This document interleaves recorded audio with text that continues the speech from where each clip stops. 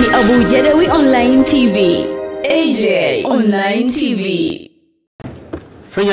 Wanasema fedha nyingi zinatumika kwa ajili ya shughuli za mbio za mwenge wa uhuru. Je, serikali haiwezi kuja na mbinu mbadala ya kuenzi mwenzi, mwenge wa uhuru badala ya kuukimbiza kila mwaka? Mheshimiwa Spika, jibu la swali hili ni kwamba tangu kuasisiwa kwa taifa letu, uhuru na umoja umeendelea kuwa nguzo ya amani, nguzo ya amani na mshikamano wetu. Ukweli huo unajidhihirisha katika itikadi na falsafa ya baba wa taifa Mwalimu Julius Kambarage Nyerere zilizojikita katika kuhakikisha kuna kuwepo na usawa na utu wa ubinadamu kwa binadamu wote. Mheshimiwa Spika, falsafa hizo zimeendelea kuitambulisha Tanzania katika medani za kimataifa kuwa ni nchi yenye kupinga ukandamizaji, unyonyaji, unyanyasaji na mifumo ya kitabaka yenye udhalilishaji utu wa binadamu. Hali hiyo inajionyesha waziwazi katika kauli aliyoitoa baba wa taifa kabla nchi yetu haijapata uhuru mwaka 1958 aliposema, naomba kunukuru, sisi watu wa Tanganyika tunataka kuwasha mwenge na kuweka juu ya mlima Kilimanjaro, umulike hata nje ya mipaka yetu, ulete tumaini pale ambapo hakuna matumaini, upendo mahali palipo na chuki, na heshima palipojaa dharau. Mwisho wa kunukuu.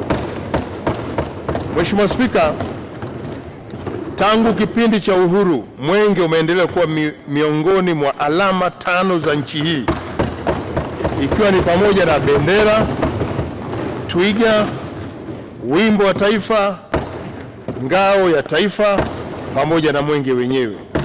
Hivyo tumeendelea kuutumia mwenge wa uhuru kuhamasisha ujenzi wa taifa lenye watu wenye amani, upendo, matumaini na kuheshimiana kwa misingi ya utu na usawa. Mheshimiwa Spika, kwa upande wa vijana, mbio za mwenge wa uhuru zimeendelea kuwa kielelezo cha ukakamavu na uzalendo walionao katika ulinzi na ujenzi wa taifa hili. Lakini pia mwenge wa uhuru umekuwa sehemu ya kuhamasisha wananchi kubuni na kutekeleza shughuli mbalimbali za maendeleo katika nyanja za kilimo, ufugaji, uvuvi, uboreshaji na ujenzi wa miundombinu ya barabara, afya, elimu, maji, umeme na huduma za jamii. Mheshimiwa Spika, katika kipindi cha mwaka 2010 2021 jumla ya miradi 15212 yenye thamani ya shilingi trilioni 9.19 iliyotokana na michango ya wananchi, serikali kuu, halmashauri na wahisani ilikaguliwa na mingine kuzinduliwa na kuwekewa mawe ya msingi. Mheshimiwa Spika, mbio za mwenge wa uhuru pia zimekuwa zikitumika kuelimisha wananchi kuhusu masuala ya lishe bora, jinsi ya kupambana na rushwa, dawa za kulevya, maradhi yanayotishia ustawi wa jamii wa watu wetu kama vile ukimwi, malaria, uviko 19 na magonjwa yasiyoambukiza.